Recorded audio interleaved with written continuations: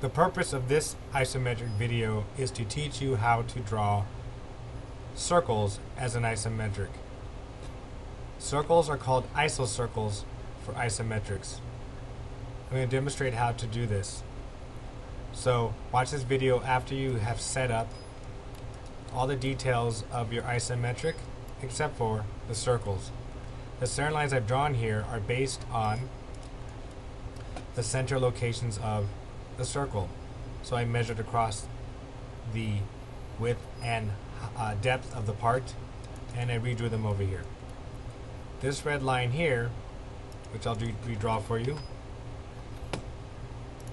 is based on the thickness of the part from the top to the bottom, which is the same as the thickness of the block.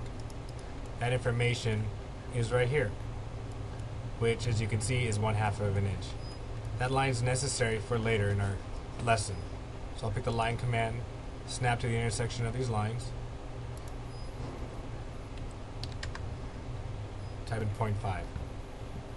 Okay, we'll come back to that later. Switch to object layer. The command you're going to be going to be using is called ellipse. We're going to spell out the word ellipse. The option you need is not visible at the moment. Hit the down arrow to choose the isocircle option. The down arrow is on the keyboard. After you pick the isocircle option, now you're ready to begin. The mouse says specify center of isocircle. You'll pick the intersection of the red lines. You will notice that the isocircle is currently going in the wrong direction. So we cannot type the radius or diameter in yet. Hit the F5 key, the function 5 key, to change the direction of your isocircle. As you see here, there's three options. Once you get the correct length, you can hit the down arrow and choose diameter if you know the diameter of your circle. Or you would type in the radius. In our case, we need the diameter. As you see here, this is a diameter measurement. So we'll type in 15 sixteenths.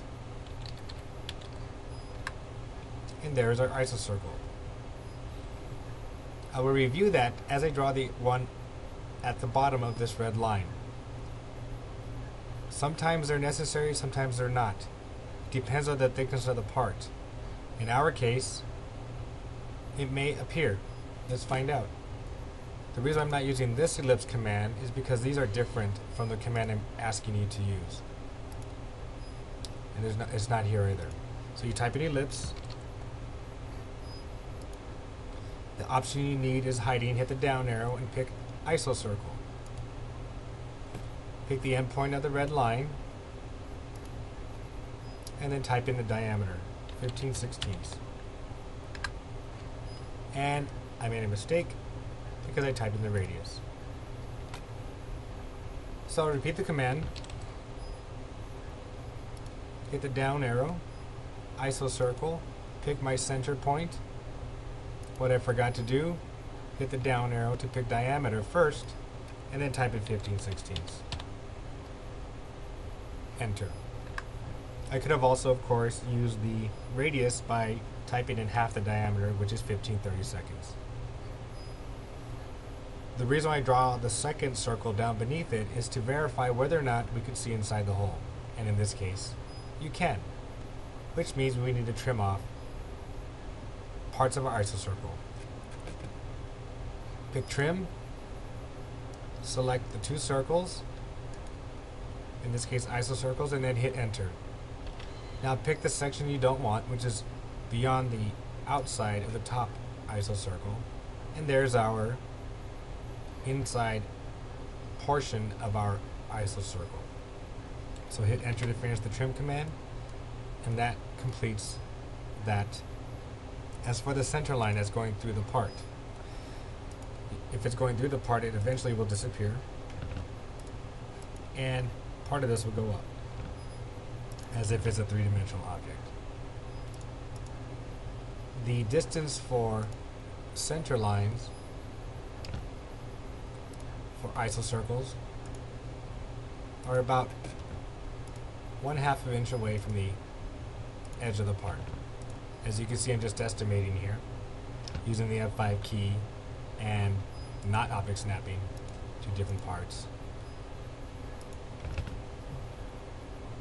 To give the illusion of a half inch distance away, but this is what it would look like as you describe your isometric.